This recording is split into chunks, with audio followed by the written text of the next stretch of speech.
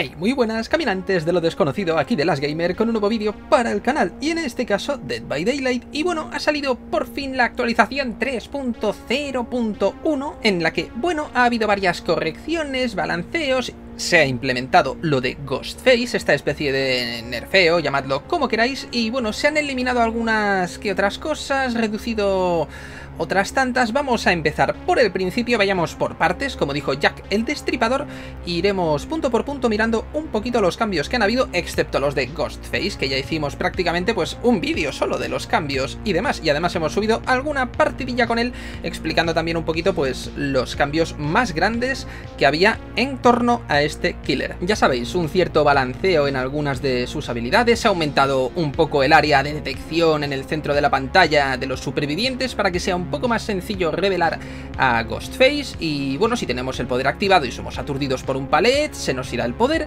y no podemos seguir acechando los supervivientes pues hasta el infinito y había también un sonido bastante claro que se podía oír desde cierta distancia y que nos advertía que Ghostface estaba cerca mientras tenía su poder activado y esto fue quitado directamente. Ahora solo lo que vienen a ser pues esta especie como de ondas raras que emite hace una especie de sonido cuando se mueve, pero ya no tiene el sonido ese claro. En fin, quitando el balanceo, nerfeo, llamadlo como queráis, de Ghostface, han habido aún más cosillas. Vamos a empezar por los bugs, la corrección de errores que han habido un montonazo, los bugs fixed. Vamos a ver, se solucionó un problema que causó que el despertar, una habilidad ya sabéis, de Quentin Smith, pues el beneficio otorgaba una especie de bonificaciones pues que no eran normales, ¿no?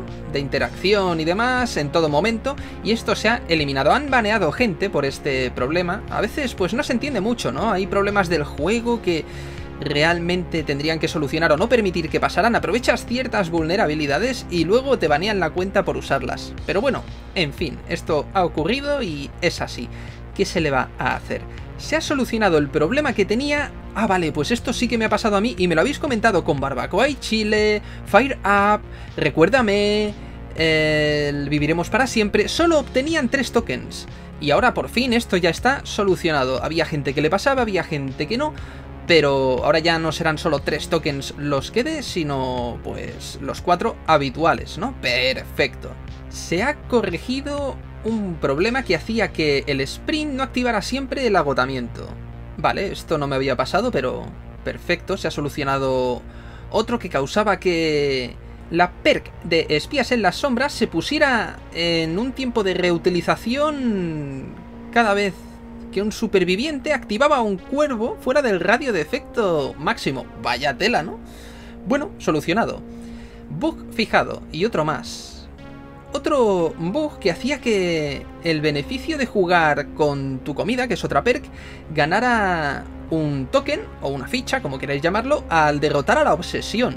Vaya tela también se ha solucionado un bug que causaba que los complementos de la Legión eh, Nasty y Fighty Blade aumentaran todos los tiempos de interacción. Al no jugar con la Legión, pero bueno, había un par de complementos ahí que no estaban del todo bien, balanceaos. Genial. Se ha solucionado un problema que hacía que el complemento del teleobjetivo de Ghostface no afectara a la duración de un superviviente en el tema de permanecer marcado. Vale, hay un complemento para Ghostface que directamente afecta a esto de, de que aumente la duración del estado de vulnerabilidad y pues no afectaba a la duración, así que corregido, genial se solucionó un problema que hacía que los palets ilusorios del Doctor aparecieran perfectamente rectos en lugar de apoyados, como, bueno, suele ser habitual. Vale. Bueno, tampoco es que sea como mucho problema, ¿no? Imagino que si los ven también ahí los Survivors, los intentarían tirar y sería la risa. Estaría bien, este, este bug me gustaba, hombre. Bueno, corregido igualmente. Se solucionó provisionalmente un problema que podía causar un agotamiento permanente. Pues este no me ha pasado, pero seguro que al que le haya pasado, madre mía, agotamiento permanente. Adiós chungo, adiós, en fin. Se solucionó un problema que podía causar que el efecto de estado de agotamiento, madre mía cuántos problemas había con agotamiento, apareciera en la pantalla sin la representación de ello marcado. Pues esto también es un problema, porque si no sabes muy bien cuando se te pasa el estado de agotamiento, por ejemplo, para usar el chungo, o la habilidad de Fengmin de agilidad, o Bueno, habilidades que causen agotamiento, muchas veces el killer está cerca y te intentas parar para que... Bueno, ya sabéis, no se regenera si estamos en carrera el estado de agotamiento, así que eh, nos paramos un poquito y tal. Era mucho lío, ¿eh? Tampoco me ha pasado, pero en fin, vaya tela. Se solucionó otro bug que causaba un reinicio en la barra de progreso de los usuarios al fallar una prueba de habilidad. Un reinicio. Buen bug. Venga, a por el siguiente. Se ha solucionado otro que permitía a los supervivientes permanecer en un casillero, taquilla, en el estado de rastreo cuando finalizaba el temporizador de herida profunda. Vale, en principio cuando nosotros en plan asestamos pues un puñalote con la legión y el estado herida profunda, este nos hace caer al suelo y tal, en teoría si estamos en el casillero nos tenemos que salir. Pues había un bug que no dejaba que saldrían, ¿no? Del casillero o que se permanecía ahí estando en estado agonizante. Bueno, también se ha solucionado un problema que había con la canción de cuna de la cazadora. Había alguna especie como de obstrucción, no iba como tenía que ir. Así que bueno, solucionado. Buenas noticias, porque dentro de poco jugaremos con la cazadora, así que no tendremos bug en la canción. Se solucionó un problema que causaba que la cámara de la cazadora también se estremeciera, una especie como de sacudida con un golpe de hacha exitoso. Vale, genial y otro problema que causaba que la cámara de los supervivientes también pues hiciese una especie como de latigazo cuando los asesinos les asestaban un golpe. Bueno, no está mal esto que se haya solucionado, imagino que sería muy molesto. Se ha solucionado un problema con la mancha roja de los killers. No estaba bien, entonces pues bueno, había algún bug con ello, se arregló y... ¡Oh! ¡Oh! Menos mal, se ha agregado más registro para investigar el problema de la clasificación del matchmaking, a ver si es verdad de una maldita vez que esto y los servidores dedicados es lo que realmente necesita el juego. Un balance, ¿qué más me da encontrarme con killers de rango 3 siendo yo rango, por ejemplo, 18? ¿Sabéis? Es que me estaba pasando que de superviviente con rangos 20 y yo siendo rango 9. ¿Cómo puede ser esto? Imagino que lo hagan para los problemas que está viendo de encontrar partida, las largas esperas y demás, pues bueno, mezclan un poquito ahí un todo con todo y se acabó. Pero luego el resultado de las partidas pues también es el que es. Si vas solo jugando de Survivor te encuentras cada cosa que es... Madre mía, da miedo gente, de verdad os lo digo, ¿eh? Se ha solucionado un problema, un bug que hacía que varios personajes no tuvieran las animaciones interactivas adecuadas en la tienda. Vale, imagino pues con todos los personajes y demás que había algún tipo de bug. Este es buenísimo. Se solucionó un problema que permitía a The Trapper, al trampero, colocar trampas mientras caía. ¿Cómo narices? Se ha averiguado este bug. O sea, ¿quién en su sano juicio intenta poner una trampa mientras está cayendo? A no ser que te equivoques de botón, ¿no? Vaya tela, obviamente este a mí no me ha pasado, ¿vale? Pero me imagino a alguien en plan, ¿pero qué acabo de hacer? He colocado una trampa mientras caía, madre mía.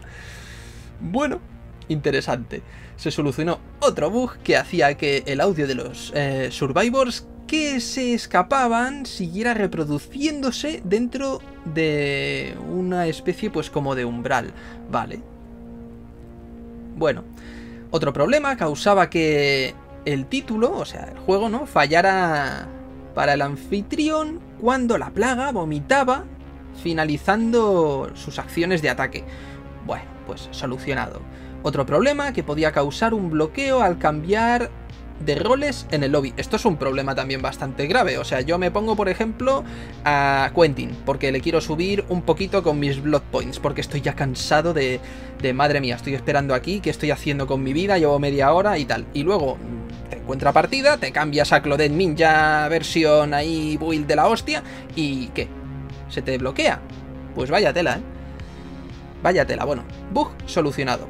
Había también una especie como de bug con las redes de sangre, el estado del guardado automático y demás. Genial que se haya arreglado esto también y también comentan que había algo que causó múltiples problemas en el lobby previo al desconectarse de la red durante la partida de carga y al intentar volver a conectarse justo antes de regresar al vestíbulo, había una especie, es un poco difícil de traducir, había una especie como de problema en el lobby que causaba múltiples problemas, ¿vale? Era como una especie de, de red ahí de fallos en cadena que bueno, solucionado. Vale, había algún que otro problema en el lobby, ¿eh? Así que mejor que estas cosas, que nos pasamos mucho tiempo en el lobby, ¿eh? Un respeto a los survivors y los killers en este sentido, porque madre mía, ya lo que nos faltaba.